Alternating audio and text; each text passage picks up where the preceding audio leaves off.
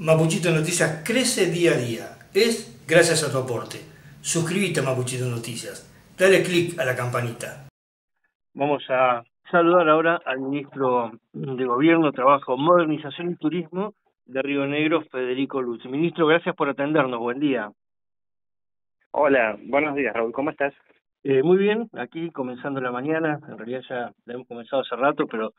siempre es bueno seguir avanzando con los temas que son noticias a lo largo del día. En principio lo hemos convocado porque quisiéramos tener algunas precisiones que nos puede contar fundamentalmente a los rionegrinos acerca de esta desvinculación voluntaria para empleados públicos. Bueno, el Estado este, provincial tiene históricamente en, en vigencia una, una ley relacionada a la desvinculación de los empleados públicos de lo que es su relación con el Estado. El gobierno ha decidido a principios de este año renovar los plazos en ese sentido, establecer condiciones más favorables que las anteriores para permitir que los agentes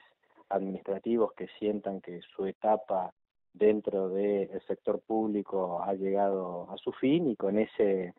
con esa motivación se generaron una serie de condiciones permitiendo que en definitiva quienes no se sientan incluidos en este proceso de gobernanza puedan lentamente este, ir haciendo haciendo uso de este beneficio. eh, ¿De qué manera se pueden adherir a, este beneficio y, con qué eh, posibilidades y condiciones? Centralmente es un proceso de carácter administrativo donde el agente debe notificar al área de recursos humanos y con esa este, notificación se lanza un procedimiento de autorización en la máxima autoridad jerárquica de cada una de las jurisdicciones y cumplida la etapa de autorización se le confiere al agente administrativo que se desvincula de la relación estamental un beneficio equivalente a 1.2 masas salariales por año de antigüedad o fracción mayor a los seis meses, se le sostiene durante un año la obra social este, del IPROS y por supuesto se le generan exenciones de carácter tributario si está motivado en desarrollar actividades de carácter productivo, eh, innovativo, tecnológico, es decir, las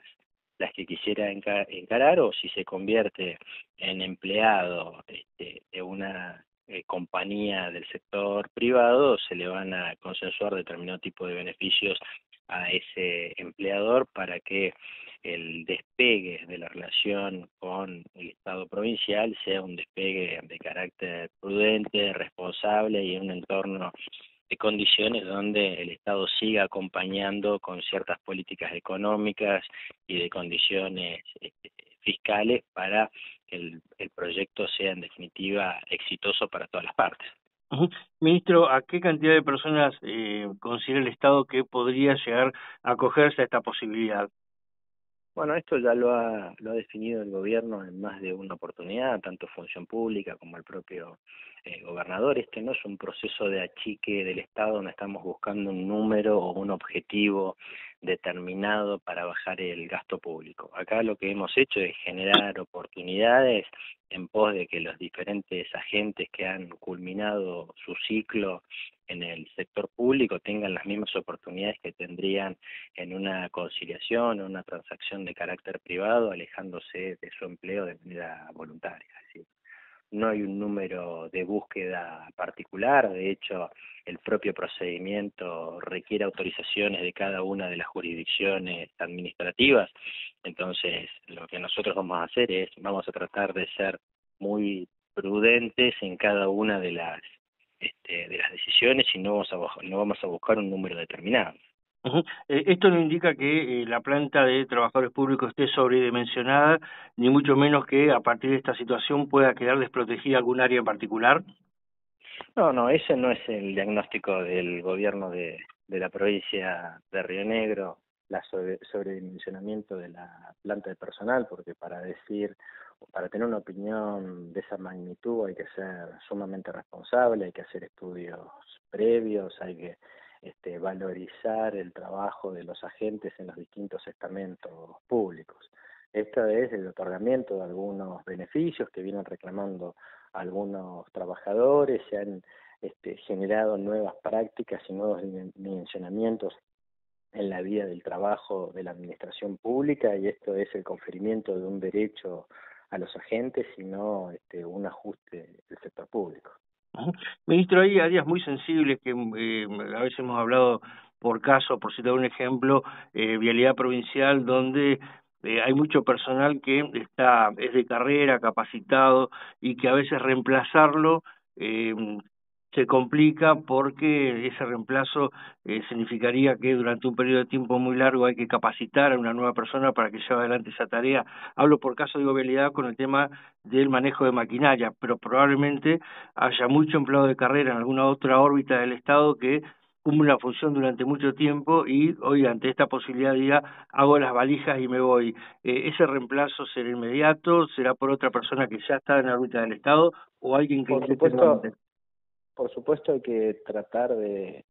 reemplazarlo rápidamente, eventualmente hay trabajadores estratégicos que no serán liberados en el marco de este proceso de retiro voluntario porque se trate de, personal crítico, pero centralmente lo que nosotros tenemos que confiar son en los procesos de sucesión que están encomendados a las distintas áreas de recursos humanos y que han gestado toda una política de reemplazos en el ámbito de la administración pública que creemos que hace posible un trámite de desvinculación.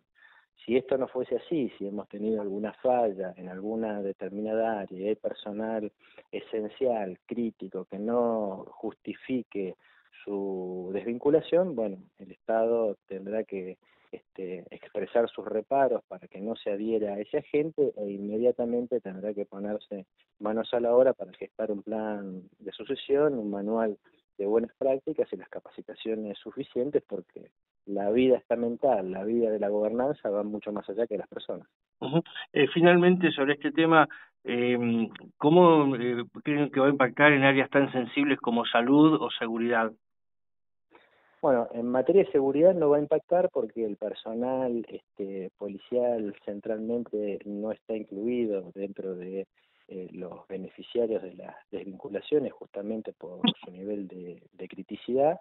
Y en el tema de salud, nosotros estamos haciendo los máximos esfuerzos para la contención de los recursos estratégicos y para apoyar y apalancar las políticas sanitarias de la, de la provincia de de Río Negro, así que entendemos que si es necesario puede llegar a ser un sector crítico donde se limiten algunas desvinculaciones porque la política del Estado de fortalecer este, el área sanitaria y la salud pública en general en el torno de la provincia de Río Negro tiene mayor importancia que la de conferir un derecho individual a un agente que quiere desvincularse del Estado. Eh, finalmente le doy vuelta a la página dos, dos segundos, le robo dos segundos de su tiempo con respecto a el tema de la planta GNL. Bueno, se ha conocido que el territorio rionegrino será el destinatario. ¿Cómo lo ha tomado el gobierno a este tema? Actuando en esa situación en particular con mucha prudencia, el gobernador ha pedido en particular que esperemos el comunicado oficial de la compañía IPF. Eh, somos respetuosos de lo que es la autonomía este, decisional que tiene tanto el accionista Estado Nacional como este, la, la propia compañía. Esto implica un manejo de relaciones institucionales con otras jurisdicciones como son la provincia de Buenos Aires, con accionistas inversores de la propia IPF, el acuerdo con Petronas, lo que son las relaciones con los proveedores de servicio, con los sindicatos, entonces hay que ser muy prudente, muy respetuoso de esos ámbitos decisionales y hasta tanto no tengamos el comunicado oficial de la empresa IPF, podemos decir que estamos muy contentos por los trascendidos, pero que hemos llegado hasta acá cumpliendo una regla comunicacional y un respeto este, por la autonomía de IPF, por el análisis técnico de la inversión, entonces creemos que hasta tanto eso no ocurra en la formalidad, nosotros debemos mantenernos en esta, en esta posición expectante, con mucha alegría, con mucho esfuerzo por las áreas técnicas de energía, con mucha visión estratégica por parte del gobernador Bertilé, con mucha este, manejo legislativo en la adhesión al RIGI, pero todo eso se va a coronar con el anuncio oficial por parte de IPF, que es lo que vamos a guardar antes de hacer una declaración oficial. Ministro Lutz, gracias por atenderme. No, por favor, que estés muy bien, saludos a todo tu Gracias igualmente, hasta pronto. Muy bien, así conversábamos aquí.